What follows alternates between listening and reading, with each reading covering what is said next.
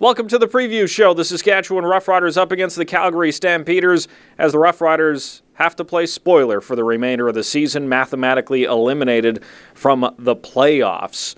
A lot to get to in this preview show as the Saskatchewan Roughriders have to contain a new quarterback for the Stampeders, Drew Tate, starting in. Also trying to contain Charleston Hughes as well he had a big, big day the last time the Rough Riders went up against the Calgary Stampeders, hitting Darian Durant several times in that football game. But we start off with Wes Cates discussing whether or not the Rough Riders offense can finally score.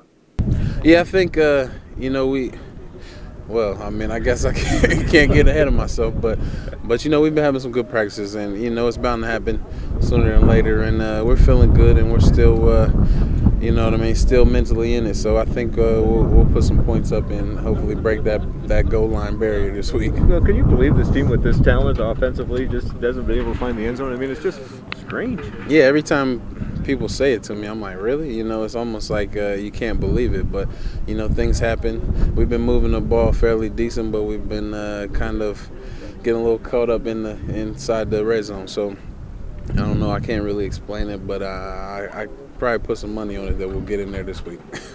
Start off with Charleston Hughes and the, the matchup there. What does he do well uh, that makes him so difficult? He's uh, he's quick. Like when you look at him, it's not the guy who's gonna have the most move. Like he doesn't spin and you know swim and all that stuff. But he's really quick up the field, so he's able to bite that corner for for whatever reason. When you kick, you kick. You think you're in a good relationship with him, and at the last second, he's gonna dip and turn around, and uh, he's cutting that corner pretty quick. So uh, you know he's not a big guy. He's kind of decent size, but he's really quick. So that I would say that's the speed and like the combina- combination of strength and, and speed. What about Drew Tate and the fact that Henry's not in there and you got a different quarterback in there? What, uh, uh, how do you approach that? Oh, watching him on film, Drew has looked good. You know, he's he's been uh, making good decisions, but uh, you know, it's a time where he get to uh, start from you know from go. So uh, we'll get a chance to get out there and try to get after him. You know, he's a tough competitor, and we want to get after him. Now for the keys to the game, and I'm taking a different angle for the keys to the game. Three things I would like to see the Rough Riders do in this football game instead of the three keys that I usually talk about what they need to do to win the football game. I would like to see Darian Durant out of the football game by the third quarter. No risk going the entire game with Darian Durant behind center for the Saskatchewan Rough Riders. Sprained ankle, a hairline fracture in the foot. You don't want to risk any further injury. If he can't be mobile, it's not only the foot you have to worry about, it's possibly shoulder or concussion as well. Another thing, get Freddie Barnes into the football game. They put him on the roster last week.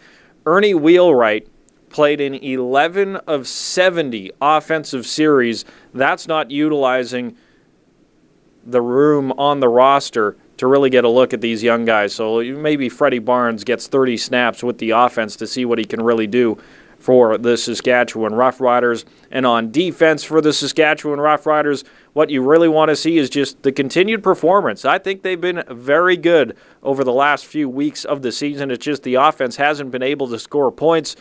So an aggressive and really tenacious defense from the Saskatchewan Roughriders. Those are the three things I would like to see in this football game. And of course, as always, during the entire game, you can follow my live tweets on Twitter.